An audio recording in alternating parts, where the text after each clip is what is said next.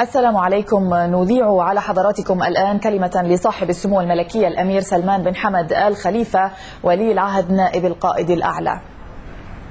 بسم الله الرحمن الرحيم.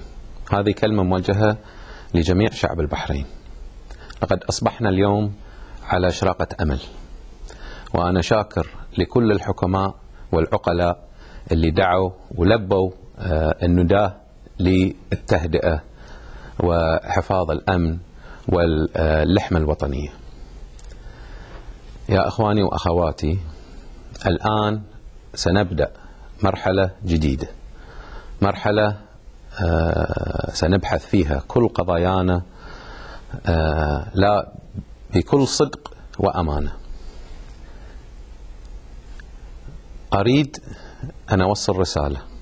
أن التهدئة مطلوبة في هذا الوقت على أساس أن كل الأطراف يقدرون يطرحون آرائهم وقضاياهم بصورة مسؤولة ومنتجة. اليوم الأمور بدأت تعود لشكلها الطبيعي. وأكد مرة ثانية واجب علينا الحفظ على الأمن والاستقرار. خوفا من الفتنة وتأزم الموقف. كل ما قدرنا نحدد أو كل ما قدرنا نخلي نهجنا ونهج الهدوء نقدر نتوصل أقرب إلى هدفنا.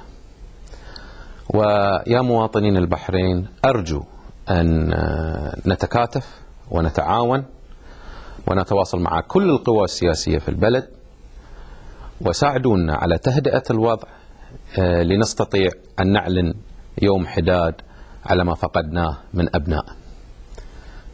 فيا مواطنين البحرين شكرا لكم وأتمنى لكم إن شاء الله يوما موفق. عرضنا على حضراتكم كلمة لصاحب السمو الملكي الأمير سلمان بن حمد الخليفة ولي العهد نائب القائد الأعلى.